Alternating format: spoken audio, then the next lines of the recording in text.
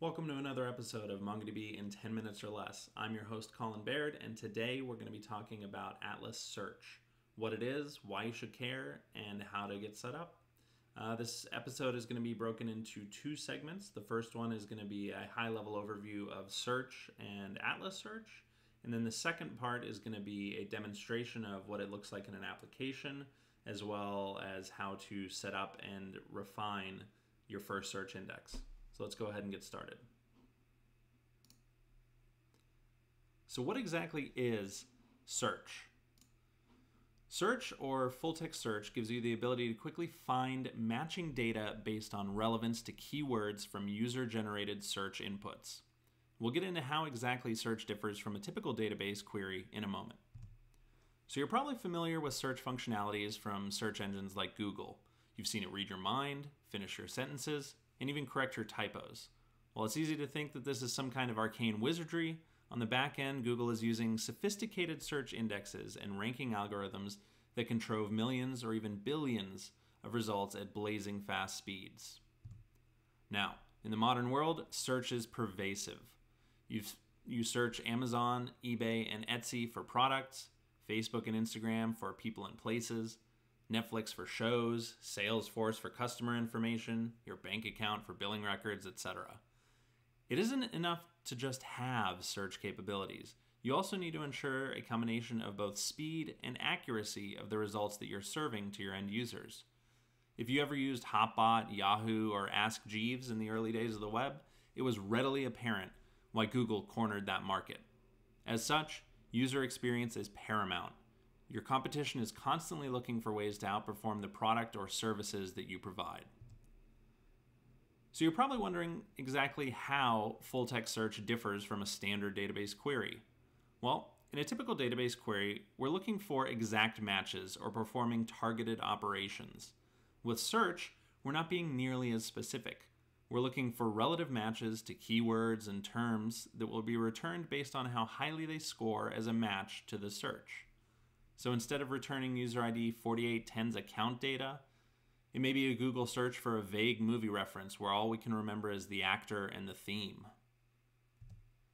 In a typical database, we use indexes to point us to specific data points. And the more that our developers can understand about the application's query patterns, the better we can optimize our indexes to return precise results quickly. Now, the variability or inherent unpredictable nature of what a user is going to type into your search box is precisely why purpose built search technologies were designed.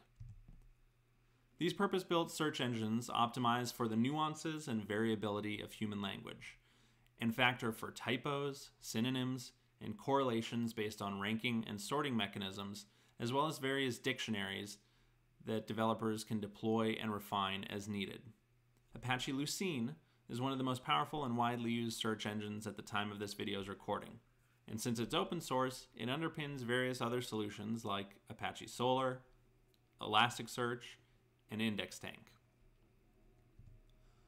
So now that we have a purpose-built tool for the job we need, what's the next step?